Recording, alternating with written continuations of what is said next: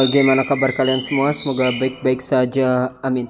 Oke, pada kesempatan kali ini saya akan bagikan tutorial atau tips kepada kalian semua. Banyak dari kalian yang bertanya yaitu tentang aplikasi BCA Mobile ya, yang di mana di sini aplikasi BCA Mobile ini mengalami error ya, atau di sini tidak bisa transaksi ya. Nah, banyak dari kalian yang uh, mengalami masalah seperti ini ya. Apa sih penyebabnya dan bagaimana cara mengatasinya? Oke sebelum kita masuk ke tutorial atau tipsnya jangan lupa kalian klik subscribe ya untuk mendukung channel ini. Like jika kalian suka dengan videonya dan share. Share kepada teman-teman kalian semua agar teman-teman kalian semua juga mengetahui apa yang kalian tahu karena berbagi itu indah. Dan jangan lupa kalian follow instagram saya di pojok kiri atas agar kalian mendapatkan update terbaru dari saya Oke, tanpa basa-basi langsung saja kita masuk ke tutorialnya. Nah, jadinya di sini langkah yang pertama yang kalian itu bisa lakukan yaitu di sini kita lihat terlebih dahulu informasi terkait dengan BCA mobilnya ini error ya.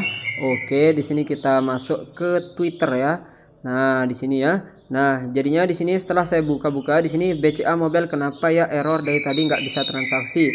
Nah, di sini uh, aplikasi BCA login error, lampu indikator biru terus dan sering logout sendiri. Nah, di sini saya nggak bisa lakukan transaksi karena lampu indikator biru terus.